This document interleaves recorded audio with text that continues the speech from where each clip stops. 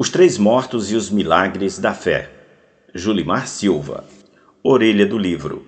A folk comunicação, por se tratar de uma manifestação vinda do povo, para o povo, o caráter qualitativo e empírico deste estudo, através da oralidade, faz com que os mecanismos de comunicação utilizados pela população sejam evidenciados.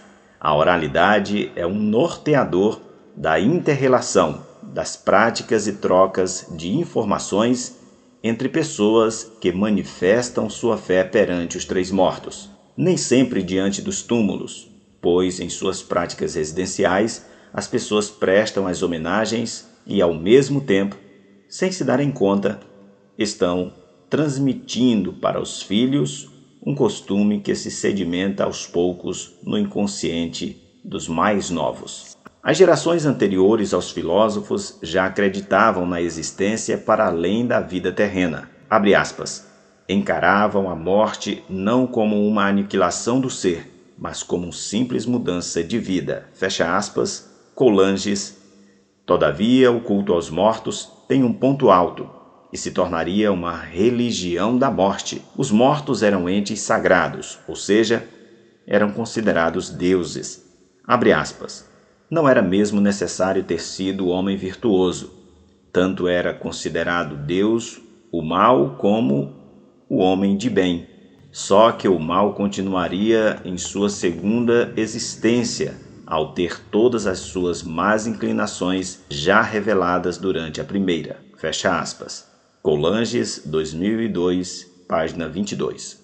Este livro é a continuidade de uma monografia apresentada à banca examinadora da Universidade Estadual do Piauí, campus Torquato Neto, como exigência para a obtenção do curso de bacharel do curso de Comunicação Social, Habilitação em Jornalismo, sob orientação do professor doutor Orlando Maurício de Carvalho Berti. Agradecimentos a Francisca Pereira da Silva, minha mãe, a Juliana Pereira da Silva, minha irmã, ao Fabrício Pereira da Silva, meu sobrinho, a Manuel Souza e Silva, meu pai, minha madrasta Valquíria, aos meus avós Francisco Pereira da Silva e Joana Alves da Silva, e a todos os meus antepassados.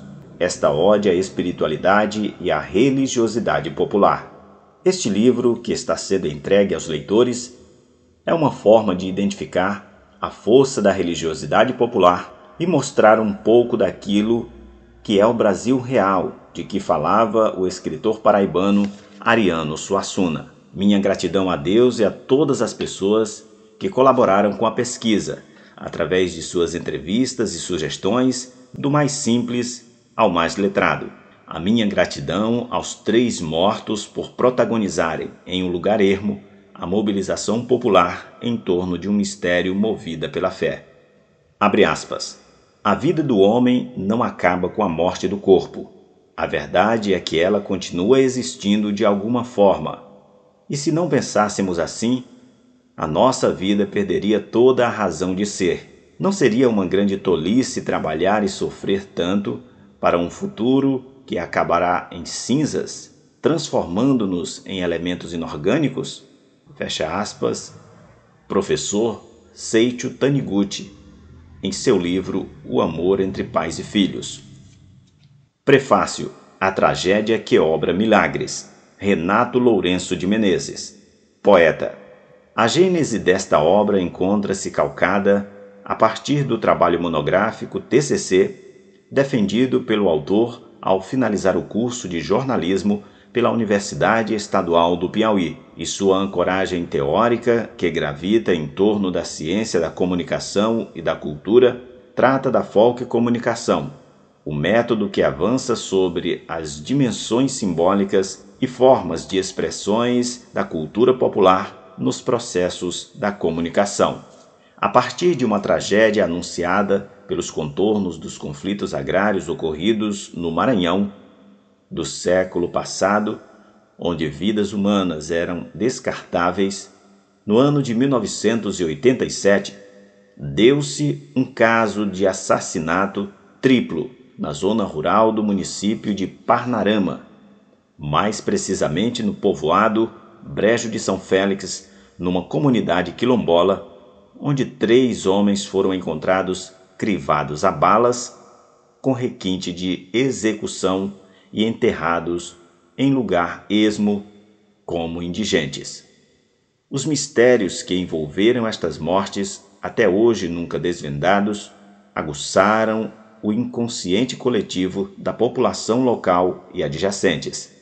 Formou-se um consenso de fé que transformou pessoas comuns em santos milagreiros, devido naturalmente à crueza da tragédia no caso em si e dos eflúvios da religiosidade indissoluvelmente ligada a elementos míticos. E assim, de forma precisa e concisa, usando de um processo de análise dedutivo da informação, o autor do livro, experiente e exímio observador do comportamento humano, o jornalista Julimar Silva, ao se deparar para descrever o que seria meramente um retrato dos fatos e costumes de natureza objetiva, vai se infiltrando no assunto até descobrir e esmiuçar, durante o percurso da pesquisa, um rico horizonte de imaginação popular, de valorização da função fabuladora, em que fatos históricos, míticos e do folclore são entrelaçados e geram, por conseguinte, uma narrativa nova, um todo harmônico que busca explorar outras dimensões da realidade, narrar lugares remotos, mesclando personagens de situação existente sofrida, cenários inóspitos, com elementos sociais e religiosos, via conceito da folk comunicação, arrisco-me a dizer que tal experiência forjou um quadro de realismo fantástico que coexiste com a brutal realidade social dos confins do Brejo de São Félix. Da barbaridade das três mortes, pariu-se o determinismo da consciência trágica que opera o milagre da multiplicação da esperança pela crença da fé. E como há total incorporação desses elementos extraordinários, há uma tautocronia com a realidade objetiva. Caxias, 1 de outubro de 2020. Introdução: Folk Comunicação e Fé. A religiosidade popular em torno dos três mortos em Parnarama, Maranhão, entre os anos de 1987 e 2020 expõe as particularidades do fenômeno religioso e popular que se tornou objeto deste estudo e que ocorre no povoado Brejo de São Félix, no limite entre os povoados Toari, Brejo de São Félix e Paiol do Centro, na região leste do Maranhão. A pesquisa tem por finalidade demonstrar os mecanismos folk comunicacionais utilizados pelos moradores destas comunidades que foram capazes de transformar pessoas comuns em abre aspas santas fecha aspas e como isto é comunicado. Os três mortos estão sepultados à beira de uma estrada MA 034 que liga as cidades de Caxias e Buriti Bravo. Tratam-se de três homens que foram assassinados a tiros no ano de 1987. Não se sabe exatamente o local onde as mortes ocorreram, mas foram deixados jogados dentro de um matagal nas proximidades do lugar onde estão enterrados. A reverência aos três mortos, bem como as peregrinações dos pagadores de promessas, tiveram início logo após os corpos terem sido enterrados. Pouco tempo depois, passaram-lhes a atribuir diversas ocorrências de, abre aspas, milagres, fecha aspas.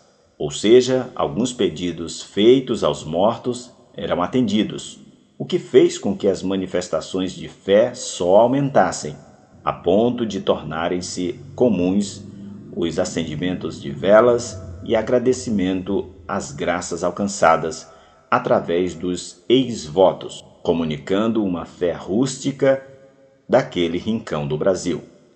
Para trazer à tona a representatividade que envolve o fenômeno, além do impacto na vida dos moradores, esta obra, que é resultado de um trabalho monográfico já defendido no curso de jornalismo na Universidade Estadual do Piauí, lança-se aos escritos basilares para a pesquisa em folk comunicação, como os de Luiz Beltrão, 1980, considerado o pai da folk comunicação no Brasil, sendo um dos pioneiros no desenvolvimento de estudos que visam compreender a comunicação através do folclore no país e as relações folk comunicacionais envolvidas no processo de transmissão e trocas de informações, valores, hábitos e costumes através da cultura popular.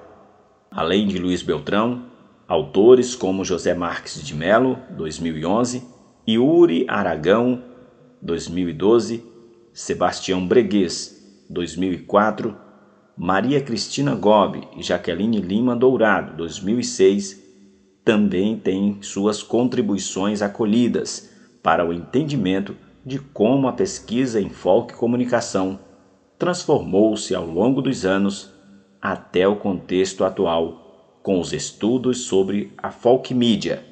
O trabalho consistiu na elaboração das questões guias que foram utilizadas nas entrevistas para o desenvolvimento da pesquisa, realizada durante as visitas nas comunidades em estudo.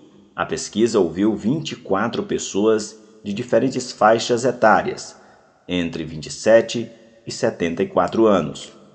Pessoas que fazem parte de um grupo previamente definido foram fundamentais para a compreensão de como as manifestações de fé tiveram início e se tornaram, ao longo dos anos, uma referência para os demais moradores, como Joselino Pereira, espécie de líder comunitário do povoado Brejo de São Félix, que participou do enterro dos três mortos, e o casal Valdemar Costa Assunção e Edileuza Campelo dos Santos, que residem no povoado Toari, e são os pais da jovem Maria dos Reis, que foi encontrada ao lado das sepulturas após uma promessa. Este fato, considerado o caso mais marcante na vida comunitária, foi decisivo na construção do imaginário popular de que os três mortos eram operadores de, abre aspas, milagres, fecha aspas. Outras duas senhoras fizeram promessas para que Maria dos Reis fosse encontrada.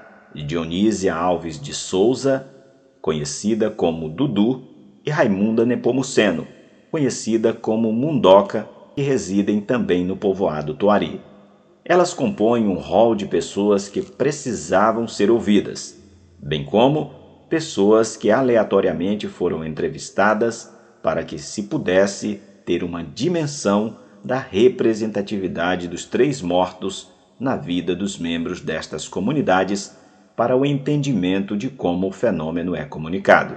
A pesquisa utiliza a técnica da história oral, possibilidade que vem dos olhares permitidos por meio da nova história através da interdisciplinaridade. A história oral é utilizada como técnica para trazer à luz as razões e as motivações sentimentais envolvidas no compartilhamento pelos moradores das comunidades envolvidas e das práticas junto aos mortos. Por sua vez, a oralidade se mostra um meio eficiente para a compreensão das manifestações de fé dos moradores da mesma forma que para a história da humanidade. Estudiosos como Lozano, 1993, e o historiador Gisafran Jucá, 2003, são utilizados para ilustrarem tal relevância. A oralidade demorou a ser utilizada como fonte de pesquisa confiável, principalmente até a primeira metade do século XX, pois a consolidação da ciência de viés positivista adotava, desde o século XIX, uma produção baseada na utilização de documentos escritos e, de preferência, oficiais. Só mais recentemente, a memória se tornou um bem precioso e passou a contribuir de forma decisiva para o estudo de novos objetos na cultura política, religião e em tantos outros campos, abrindo um leque de opções do que pode ser pesquisado. As novas formas de abordagens permitiram que antropólogos pudessem dar voz às chamadas minorias. A folk comunicação dos Três Mortos recorre ao auxílio da memória dos moradores para retratar e entender o objeto de estudo. O objetivo principal é compreender a comunicação informal que permeia a cultura construída coletivamente por processos comunicacionais que são transmitidos por meio do folclore. É dentro dessa perspectiva que a memória é utilizada como forma de evidenciar aspectos que os relatos registrados em documentos não revelariam, atento ao tempo e ao contexto histórico, bem como à relação dos moradores com os assuntos ligados à fé. Observa-se que o sincretismo religioso é um aspecto que deve ser destacado, o que demonstra a complexidade e a singularidade na forma como o fenômeno em torno dos três mortos se apresenta. Conduzida na perspectiva qualitativa, esta pesquisa buscou compreender aspectos subjetivos que estão intrínsecos em cada pessoa e, por conseguinte, em suas falas, através das interações ocorridas entre o pesquisador e o fenômeno pesquisado. A pesquisa de campo foi utilizada para a coleta de informações que contou com o auxílio de instrumentos para a coleta desses dados, como caderno de campo e caneta para anotações das reações dos entrevistados em determinado ambiente, dúvidas que pudessem ser tiradas após ou durante a entrevista. As gravações das entrevistas foram feitas com o auxílio de um telefone celular LG e as fotografias com uma máquina digital Sony e através do próprio telefone móvel. As gravações foram relevantes para demonstrar as pausas, como o entrevistado se comporta durante a entrevista e como as emoções se manifestam. Utilizou-se ainda da pesquisa participante, que consiste na inserção do pesquisador no ambiente da ocorrência do fenômeno estudado e da interação com a situação investigada. Percebe-se, doravante o exposto, que o método dedutivo é o mais indicado neste estudo, pois a partir do conhecimento dos conceitos, dirige-se para o aprofundamento de uma realidade particular e a compreensão de uma realidade que se apresenta como exótica.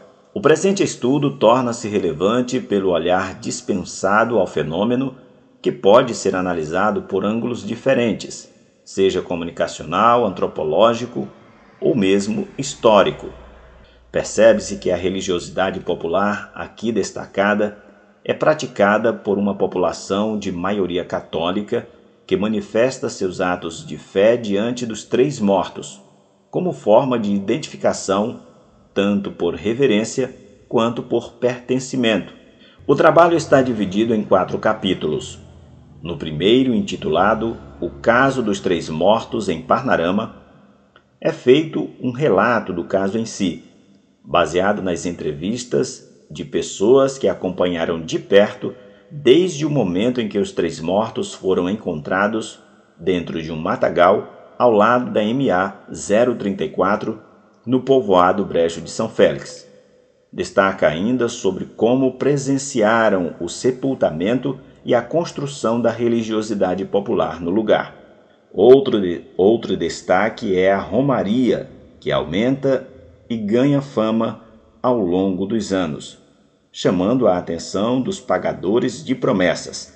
Frisa-se sobre, abre aspas, milagre, fecha aspas, que espalhou o fenômeno na região em que a jovem Maria dos Reis, que em 2020 completou 32 anos, foi a principal personagem de disseminação desse fenômeno. No segundo capítulo, a Folk Comunicação e os Ex-Votos, são elencadas as definições de folk comunicação e folclore, a distinção entre estes termos, bem como a importância dos escritos de Luiz Beltrão, o pai da folk comunicação, e seus contemporâneos para o entendimento da comunicação informal ou alternativa presente na cultura popular, considerados norteadores. Também é retratado o que são e quais são os tipos de ex-votos, os diferentes gêneros folk comunicacionais, e de que forma a cultura popular se utiliza desses mecanismos para ratificar através de manifestações simbólicas a fé. Em seguida, no terceiro capítulo, dos casos de fé publicizados aos mediados pelos três mortos, são evidenciados as histórias de fé, a solidariedade dos pagadores de promessas e o papel das rezadeiras nos atos de dizer e fazer praticados pelos moradores das comunidades próximas aos três mortos. E no quarto capítulo da Folk Comunicação dos Três Mortos, faz-se uma análise da forma como os personagens estudados praticam a fé nos três mortos e utilizam os ex-votos neste processo, levando-se em conta as características comunicadas no fenômeno.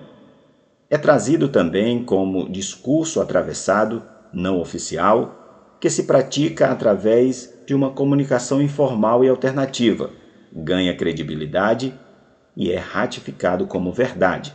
E por que, na percepção católica, os três mortos não são considerados, abre aspas, santos, fecha aspas.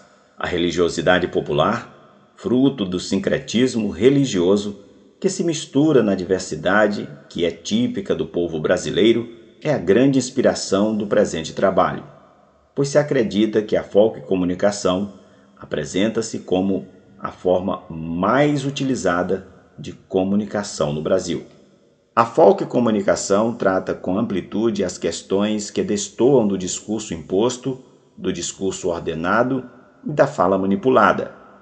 A expressão popular é genuína e se faz presente como reflexo de situações vivenciadas por pessoas que encontram, na maneira peculiar de comunicar suas crenças, uma forma de perpetuar as heranças que são transmitidas de geração em geração.